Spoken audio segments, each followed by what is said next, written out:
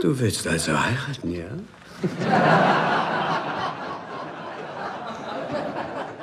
Wer würde dich denn heiraten, du hässliche, stinkende Schlampe? Ich kann dich nicht hören, sprich lauter, Weib. Ganz nah dran ist dieser Film an der Wirklichkeit, am Terror des Sektenführers Paul Schäfer, am Leben in Angst und blindem Gehorsam. Alltag in der Colonia Dignidad. In dieser Kolonie der Würde zählt die Würde des Menschen aber nicht das Geringste. Es zählt einzig und allein Paul Schäfer. Seine Anhänger glauben, in ihm die Stimme Gottes zu hören. Aber Schäfer nutzt seine Macht nur aus, vergeht sich immer wieder an Kindern und Jugendlichen. Und das fast vier Jahrzehnte lang. Schäfer hat sein Paradies auf Erden geschaffen. Schäfer hat den Ort geschaffen, an, den, an dem er seine abgründigen äh, äh, Begierden ungestraft und unbegrenzt ausleben konnte. Die Colonia war in Chile ein Staat im Staat.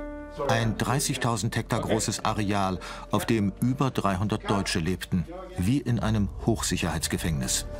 Florian Gallenberger zeichnet in seinem Thriller die bedrückende Atmosphäre bis ins Detail nach. Die Colonia ist wirklich eine Blaupause von einem Mini-Terrorstaat. Also äh, es gibt den Anführer, es gibt die Doktrin und es gibt Brutalität. Und ich glaube, das sind die drei Säulen, auf, dem, auf denen das immer aufbaut.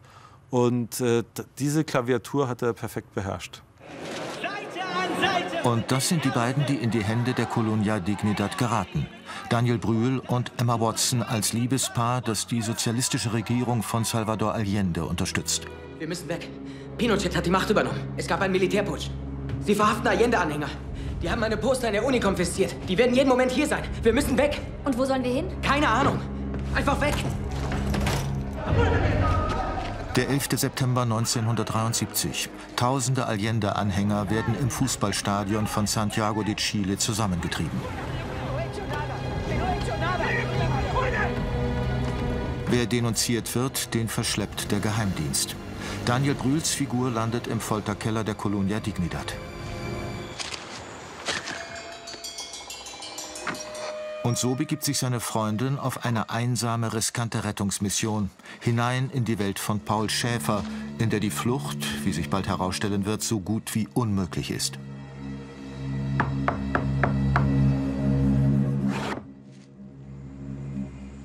Grüß Gott.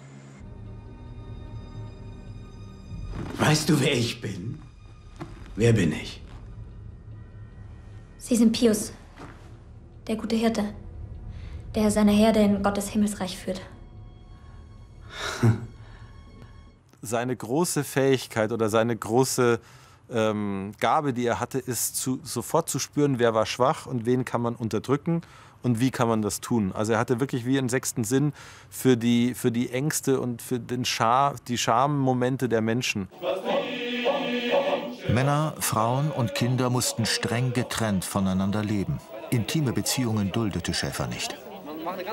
Viele sind dann eben in irgendeinem Moment umgefallen, haben den anderen denunziert oder über ihn gesprochen und dann gab es da entweder äh, Strafen oder die wurden auseinandergehalten bis hin zu äh, pharmazeutischen Behandlungen, Elektroschock und so weiter. Die deutsche Botschaft hielt stets schützend die Hand über die Colonia Dignidad, bis heute ein nicht aufgearbeitetes Kapitel im Auswärtigen Amt. Der Umgang mit Diktator Pinochet war unheimlich, die Nähe zu Schäfers Sekte ein Skandal.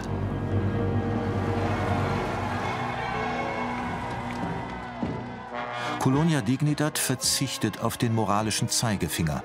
Er ist ein geradliniger Thriller, spannend, verstörend und so kurzweilig, wie man es oft nur aus Hollywood kennt. Dadurch führt er umso effektiver die verlogene Scheinwelt und den Wahnsinn der Colonia Dignidad vor. Ein Wahnsinn, der jahrzehntelang kein Ende nahm.